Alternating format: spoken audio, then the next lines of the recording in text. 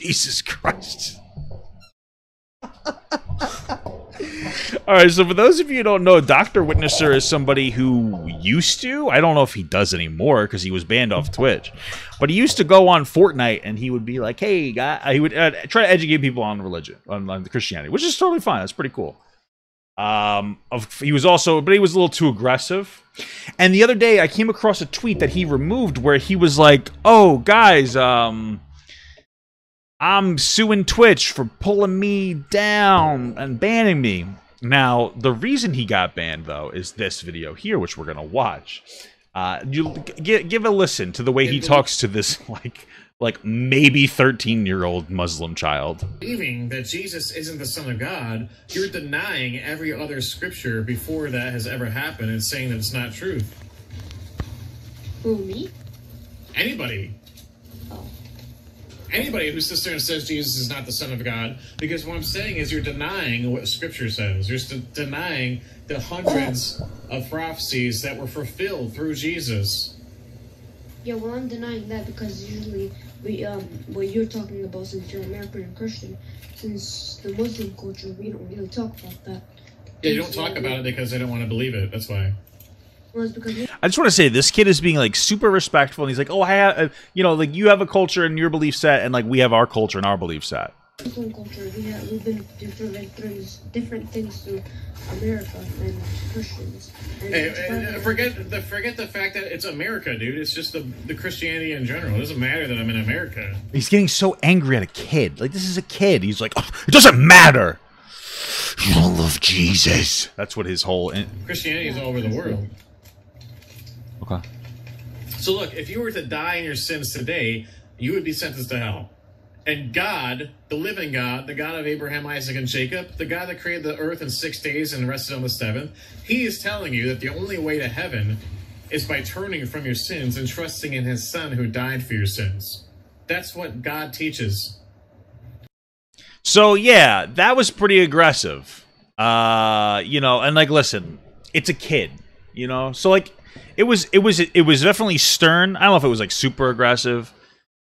The Christianity in It was- general. It doesn't matter that It was definitely stern, but he told a kid he's gonna go to hell because he's not because he's Muslim, basically, because he's not Christian. So it's kind of fucked up, and it removes like the intelligence from the conversation. And so that's what Dr. Witnesser did. That's why he got banned off of Twitch. It was too much. Um, of course, but he made. I, I guess he just made this. I just saw the other day that like whatever whatever video. Uh, but he made this video to the Muslim kid. I'm sorry. I just feel like I feel like it's just not a nice way. Um, I just feel like it's like a shitty. I don't know.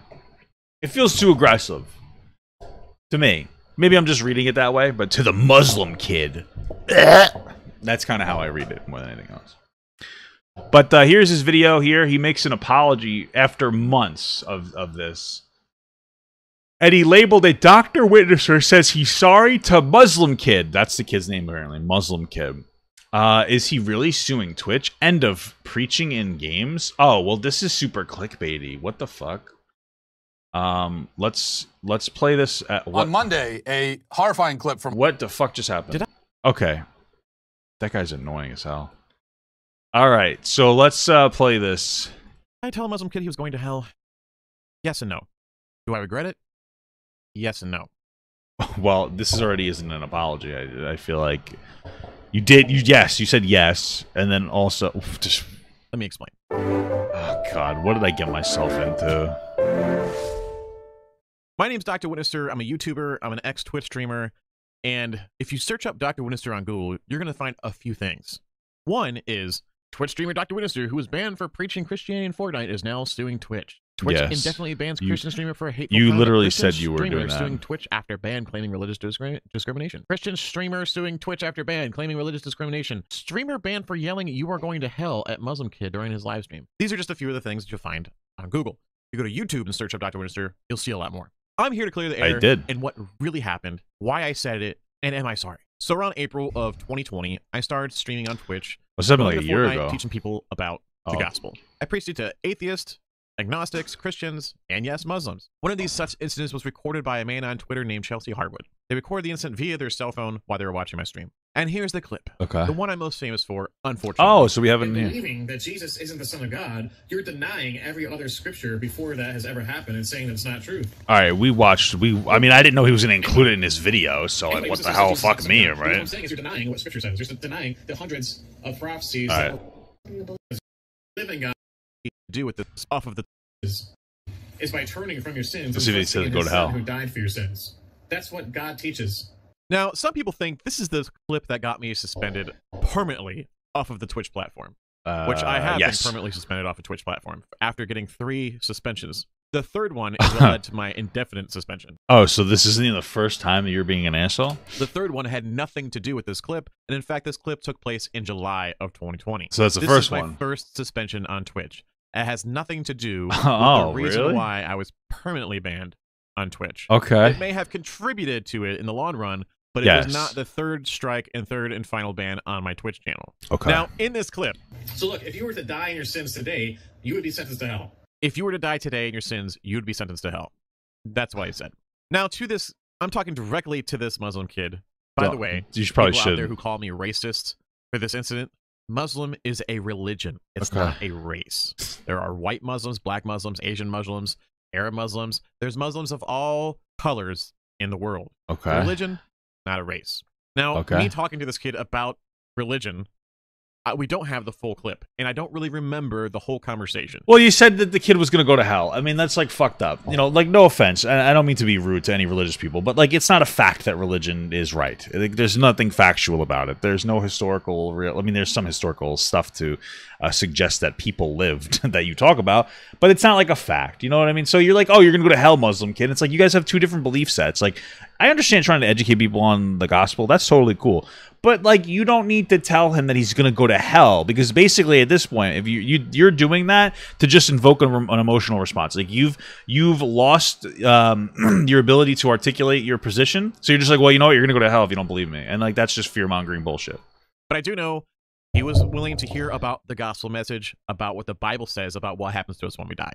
And when talking to him about it, he wanted to talk to me about what Muslims believe, and I was hearing it. And then I counter some of his points by trying to explain to him about That he was how. Jesus is the Son of God and how he fulfilled 300 plus prophecies in the Old Testament, and this is proof, and this is something Islam wants to deny. Well, it's not so like- first It's not a proof. I mean, like take it easy with the oh, proof oh. stuff, bro. half of the video was me doing some apologetics with this kid. And I say kid, and yeah, he, he sound, definitely sounded like a kid.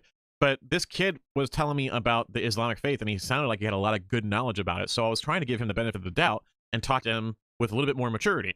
After doing some apologetics with this Somebody in my chat said your content is consistently unique, unbiased, and interesting. Love you, man. Thank you. I appreciate that. I mean, none of those things are true, but I appreciate it. no, but thank you so much. I went back to the gospel message because I started talking to him about sin prior to that and what the consequences of Bro, sin what is. is this video, and the statement that I said about right here So look, if you were to die so if this was your first strike, why the fuck are you even really talking about it so much? your sins today, And you even made the, the, the I just I feel like I need to show this again to the Muslim kid.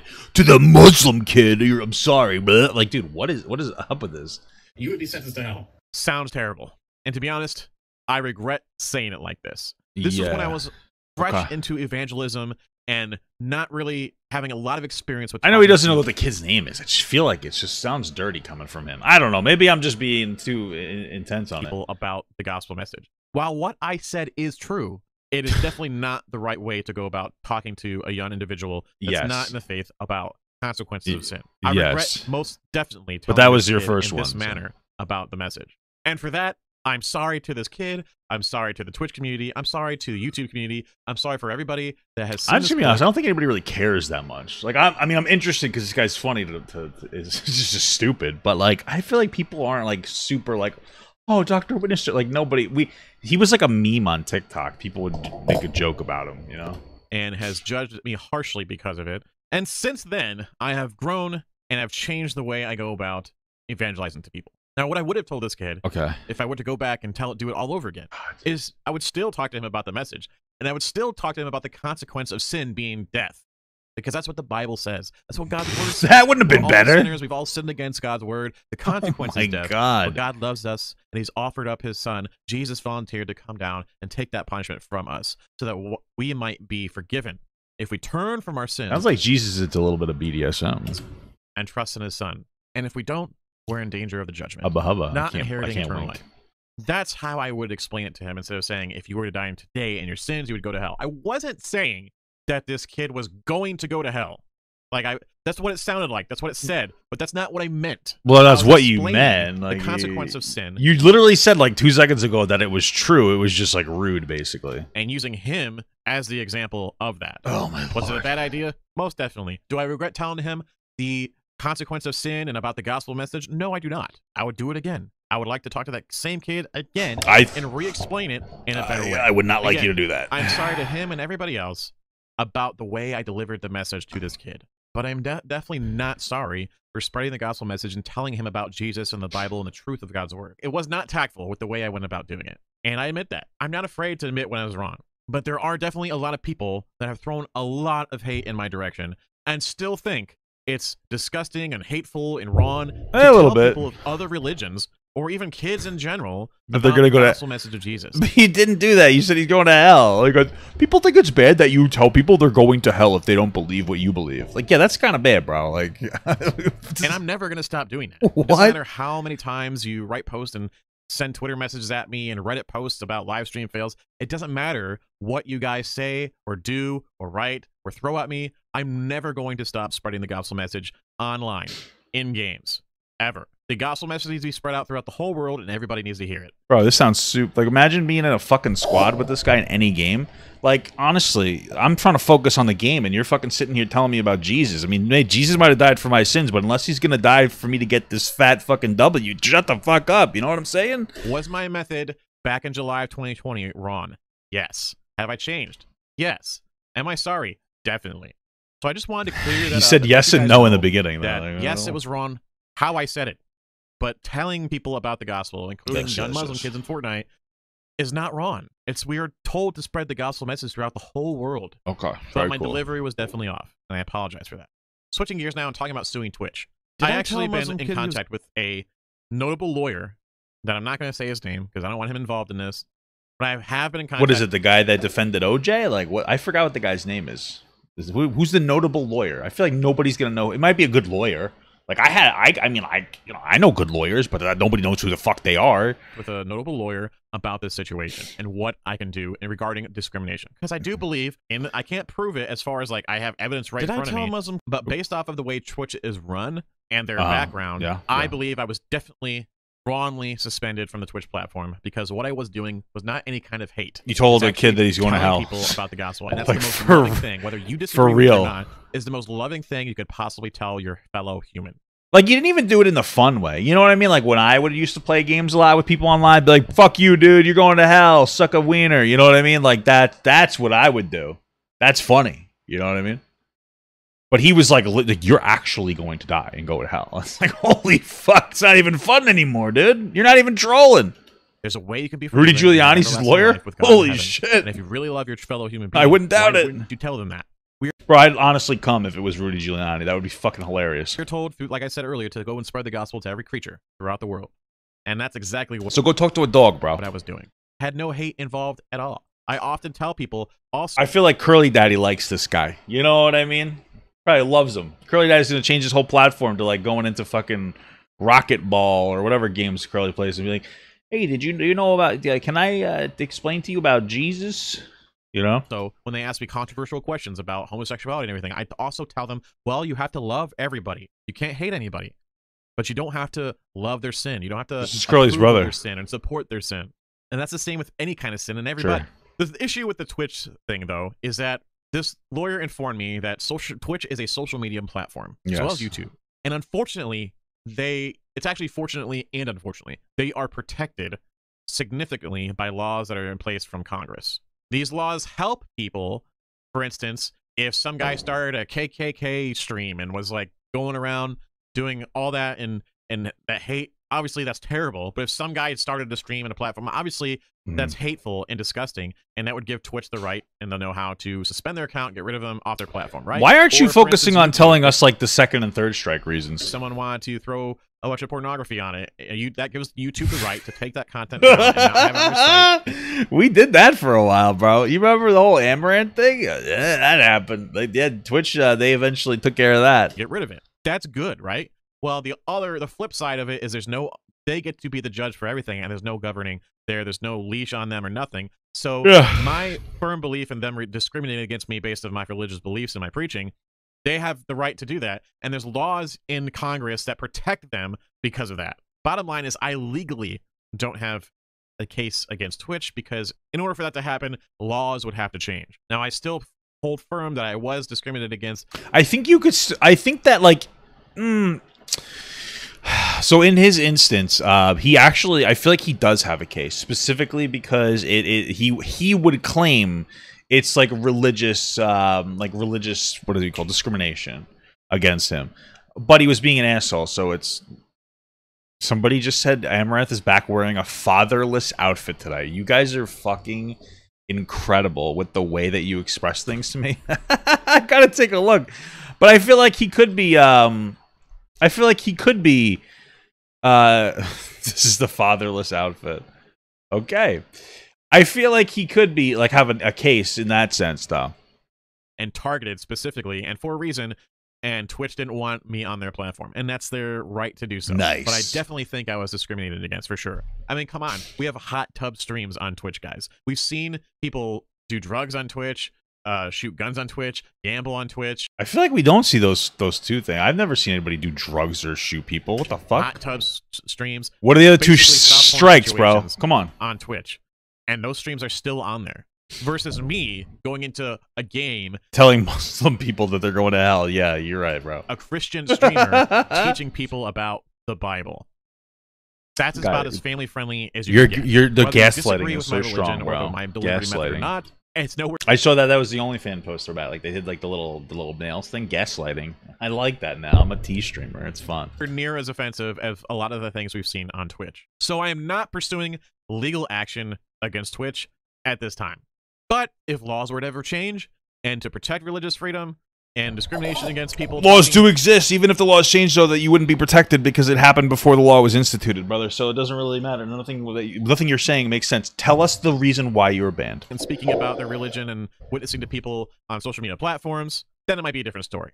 But we know the closer we get to Jesus Christ's second advent, the worse and worse the world is going to get, as the days of Noah, the Bible says. So I really don't think that's going to come around, and I'm going to have any opportunity to do so and defend myself against discrimination from social media platforms. One big example is Donald Trump himself, the ex president of the United States, being banned off of Facebook and Twitter, having all this money and all these followers.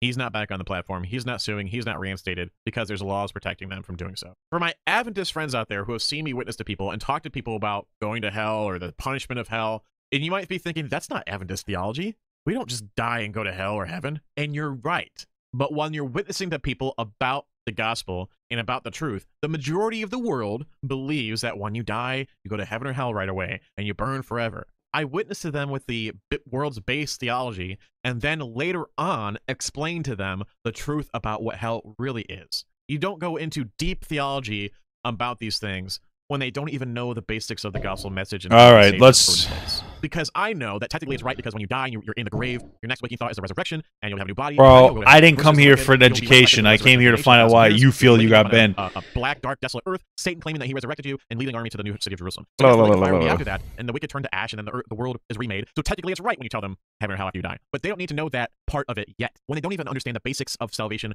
and following the law of God and the reasons why in the first place. We go into that deeper theology later on and as a follow up. Sometimes I mention it while I'm witnessing, sometimes I don't. It depends on the field of conversation. Usually, when it's talking to younger audiences, I don't really go into the whole specifics of hell and all that stuff because it's a younger audience and they might it, it might just go completely over their head. As Adventists, we gotta take into consideration the way people that are in the world think about heaven and hell and what happens to you when you die, and you gotta explain it to them later on when they're more open to hearing more of the message. So whenever I'm witnessing to people and planting seeds, it's not loading a bunch of this information all at once with Adventist theology and what it really means when you die, and what really happens to you when you die, and what hell really is. Sometimes I talk about that, sometimes I don't. Again, it depends on the person. I so hate- I hope this clears things. I hate up. that I have to get through these things, yeah. situation. But for all the haters out there, I'm not going to stop spreading the gospel message in gamers. So you might as well buckle up, sit down, and get used to it. Thank you so much for listening. I hope this helps. Yo, they didn't. You you didn't do any of the things you said. You didn't. What are you talking about, bro? You didn't apologize at all. Um, but like, what I find interesting is that he he addressed the first stripe thing that got him banned. He didn't express the other two that got him banned. So like, that's sus, bro. So I give you an A sus or an F sus instead of a plus. You get it?